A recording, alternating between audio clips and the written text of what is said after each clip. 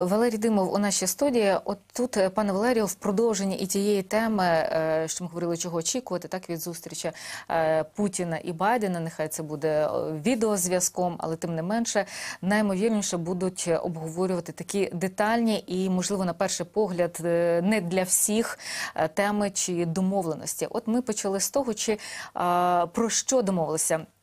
Тому що е, президент Джо Байден також перед цією відеоконференцією вже поспілкувався із лідерами Італії, Франції, Німеччини та Великої Британії. Е, І, зокрема, окрім того, що вони велику стурбованість чергово висловилися, е, вони наголосили на тому, що шляхом для вирішення конфлікту на Дубасі все одно є виконання мінських домовленостей. Ну, ми розуміємо, що Росія бачить своє е, свій варіант виконання мінських домовленостей. То, от, власне, чи не варто очікувати сюрпризів від е, цієї зустрічі? Ось таких, можливо, десь і закулісних е, домовленощів е, на. Е, Як то кажуть, інтересах Російської Федерації, як ви бачите, тому що ми тут е, розглядаємо і вторгнення, і от ці всі допомоги, але перш за все спочатку намагаються дипломатично домовитися. То, от власне, чи не може за нашою спиною бути якась така домовленість в інтересах Російської Федерації? Ну, по-перше, е, Щоб не було це залежить від нашої спини, так? вибачте. Е, Розумієте, що питання? Можна провести коня до водопою, але не можна примусити його пити. Зрозуміло, що американці, канадці, е, громадяни Великої Британії не будуть воювати е, за Україну, а лідери цих країн не будуть більшими патріотами, ніж е, президент України. Але е, думаю, що не треба нагадувати нашим глядачам, е, хто. е, е, Насправді говорив про те, що легко е, припинити війну, е, припинити стріляти, просто треба домовитись посередині. Це хто говорив? Це говорив Зеленський під час передвиборчої кампанії. І коли Стефанчук розповідає про те, що от там говорять, що наші лідери, наша підтримка, то е, я нагадую, що той самий Байден в день окупації Криму говорив про те, що Росія окупувала Крим, а Зеленський говорив. Про Україну про те, що України вирвали серце, але так і не називав, хто це зробив. Це ж не Науру зробила, не, не е, е, Кабо-Верде, острова Зеленої миси, де там Поклонська зараз буде прокурорша з е, Криму. Е, Російська буде е, фестивалять послом. бачимо питання в тому, питання в тому, Називають так, ворогом так, і виступ тому президента в парламенті нарешті, чітко, нарешті, неодноразово нарешті, наголосив. Нарешті, ось Стефанчук сказав та сторона, потім сказала Російська Федерація. Я дослівно, я слідкую за всіма е, риторичними фігурами. До того Тобто Зеленський раніше говорив про те, що та сторона, але не говорив хто. В нього навіть було були колись ситуація щодо е, повстанців. Він наприклад, так називав цих е, практично маріонеток окупантів. Він говорив про те, що е, насправді. Е, в Україні в війні зацікавлення і українська сторона. Тепер він говорить, що 99% е, знаходиться е, вирішення цього е, цієї війни. Практично він хоч досі говорить конфлікту, але насправді вирішення.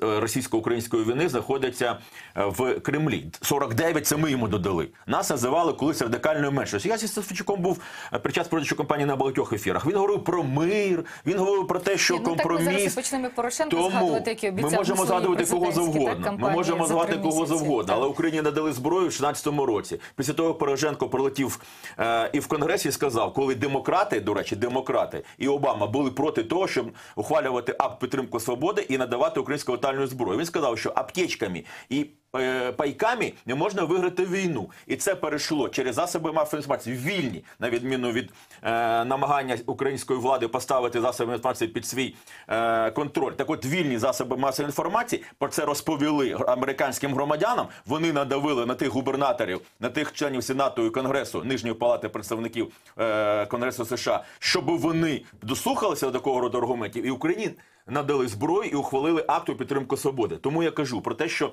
ніхто не, не заскочує, якщо хтось не захоче. Тому насправді за нашою спиною рівно так можуть домовитися, якщо наша влада дозволить е, про це домовлятися. Зеленський З сказав. Джо Блінкіном вже відбулася розмова.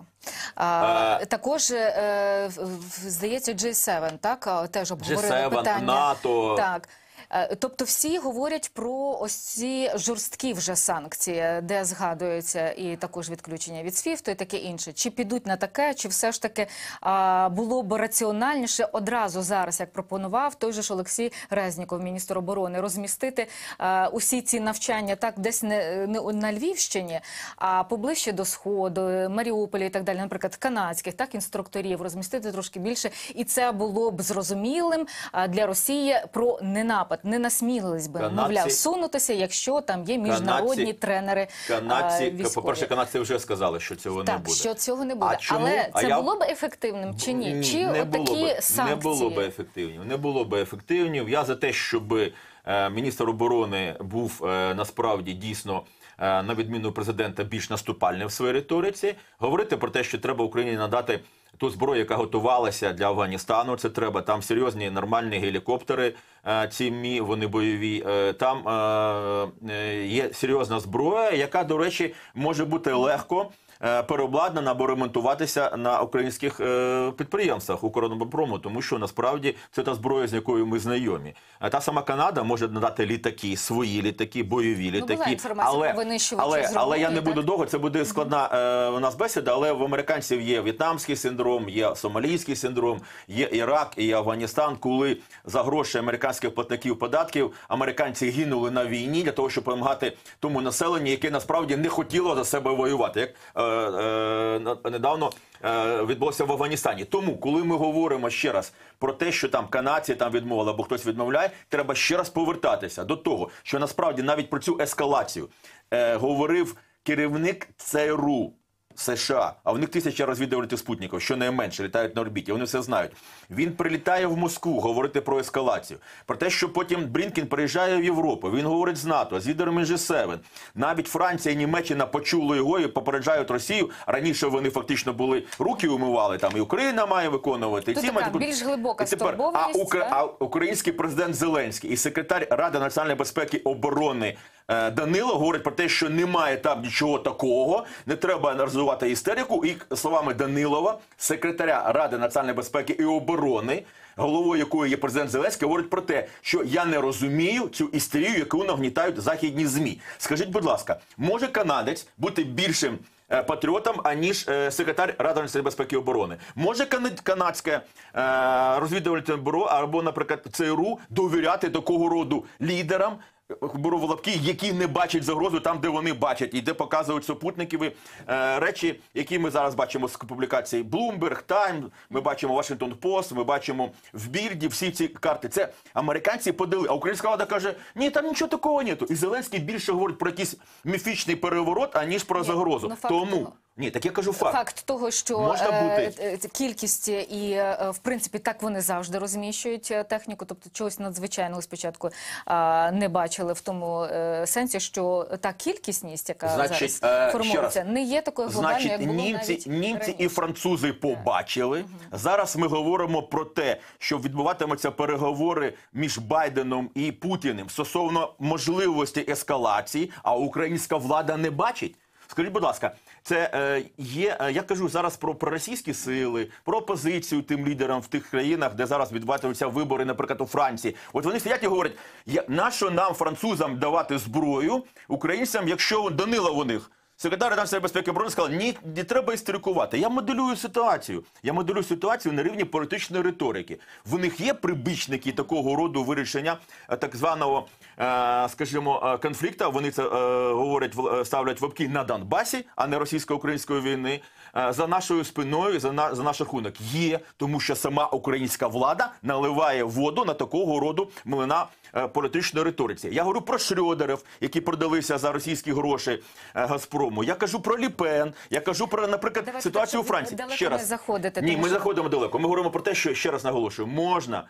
Можна е, провести коня до водопою, але не можна примусити його пити. Можна бути патріотом українських громадян, але не більше або підтримувати їх не більше аніж влада цієї країни. Тому Зеленський Те, що і загроза є, не заперечується. Вона взагалі в принципі транслюється. Те, Я що зараз- це 8 я зараз років. покажу Вона цитату. є в принципі. Це- От але те, що у нас років цій загрозі. І сам же ж Резніков теж зазначив, що з січня, ну так е, як і всі в принципі на цьому згоджуються, е, начебто планується якийсь там повномасштабний наступ.